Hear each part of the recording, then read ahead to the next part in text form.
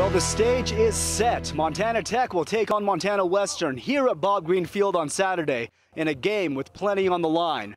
For Western, a chance to keep climbing the NAIA poll. For Tech, an opportunity to move to 2 and 2 after clinching their first win last weekend. I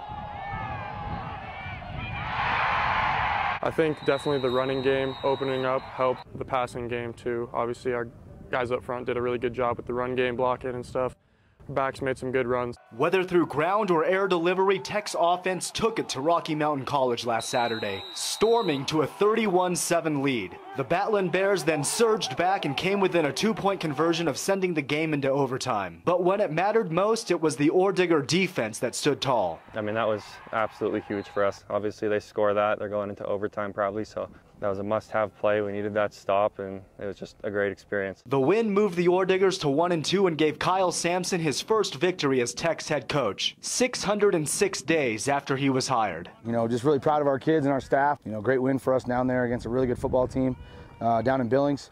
Um, you know, just really proud of the way we played for four quarters. Played really good team football. You know, definitely looking to, to build some confidence off of that. But we can't get complacent. We got a great team coming in on Saturday, and uh, we got to be ready to go. But I think our guys are definitely going to be ready to go for it. Tech now readies for rival Montana Western, a team they haven't faced since October 12, 2019. The Orediggers rolled to a three-touchdown win over the Bulldogs in that one to halt a four-game win streak by Western. But the past is irrelevant now, and the Bulldogs will head to Butte as a ranked team and sitting at 3 and one after beating MSU Northern.